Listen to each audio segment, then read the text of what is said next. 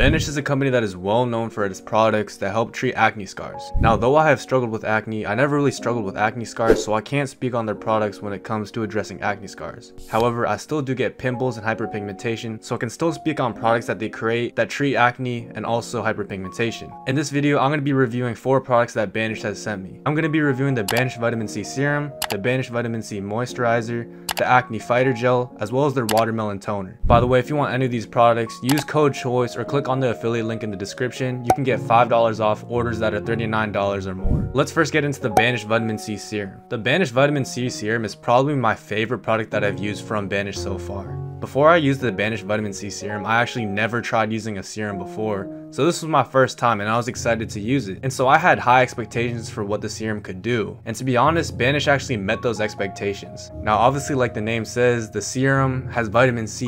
So what that's going to do is brighten your skin, help remove hyperpigmentation, and give you that extra youthful glow. If you didn't know, vitamin C is an antioxidant, so it's going to help fight those free radicals in the air. And these free radicals can actually damage the skin. This is why once you get older, you start getting wrinkles and fine lines. And if you want to prevent those things, I highly advise that you use vitamin C. So a good way of doing this is by getting this vitamin C serum. Now a lot of products have vitamin C in it, but the thing I like about this serum is that it gives you this glow to your skin.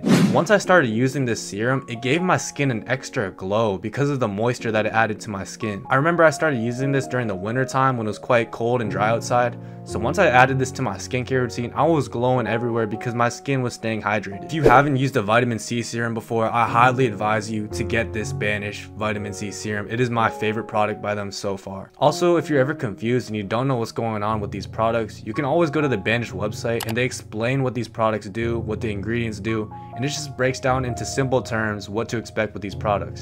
For example, the reason why this vitamin C serum adds moisture is because of glycerin, which moisturizes the skin and protects the skin's moisture barrier. It also tells you other information like how long it lasts. In this case, the vitamin C serum will last you 6 months. If I had to give this product a rating, I'd probably give it a 10 out of 10. Next, we go on to the vitamin C cream. And just like the vitamin C serum, obviously it has vitamin C in it, so it's going to do all those same things that the vitamin C serum does. I've used other vitamin C creams before and I always thought they were a bit too much. They're a bit too greasy. They made my face look way too moisturized and it just didn't fit my skin type that well. I mean, if you saw my face, you probably thought I was baked in the Krispy Kreme factory. However, with this vitamin C cream by Banish, they made it more lightweight. You're able to apply this and if you want, you can even add another moisturizer after. This is what I usually do. I put on the vitamin C cream moisturizer by Banish and then I put on the La Roche-Posay triple matte moisturizer.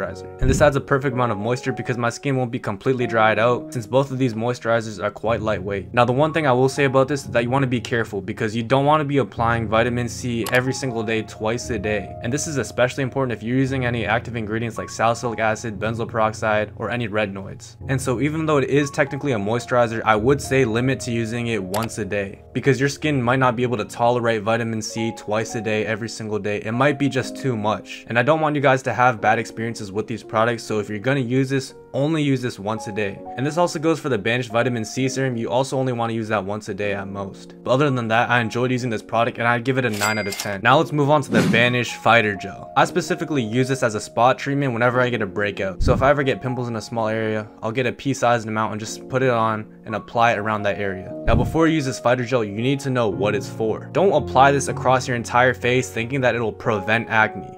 I see this more like a treatment to acne. It's more so used when the acne is already there rather than preventing it. And for this, it's very good at because whenever I have redness or inflammation in an area, I always use this to apply it to the skin and it usually calms it down. The reason for this is the ingredients that they use in this product. As we can see, it has aloe vera and this is an ingredient I advocate for strongly. It hydrates the skin and it has anti-inflammatory properties which is going to help treat that acne. It also has other ingredients that you can see on the website. For example, it has green tea extract and that's going to reduce sebum production and redness. It's also supposed to help with eczema. I personally don't get eczema on my face so I haven't tried it. If you do have eczema, let me know if this product helps you in the comments below. In terms of how this product feels, it's sort of like a jelly type consistency. And when I apply it, it feels kind of cold to the skin. It sort of feels like putting an ice pack on that area. But yeah, I think that this is a solid product at calming down an acne breakout, so I'll give it an 8 out of 10. The final product I'm going to be talking about is the Pore Shrinker Watermelon Toner. And like the name says, it's supposed to tighten and minimize pores. Now I personally don't really struggle with enlarged pores, so I didn't really notice a difference when I started using this product. However, something I did immediately immediately noticed is that after I put on this toner, it made my skin so much smoother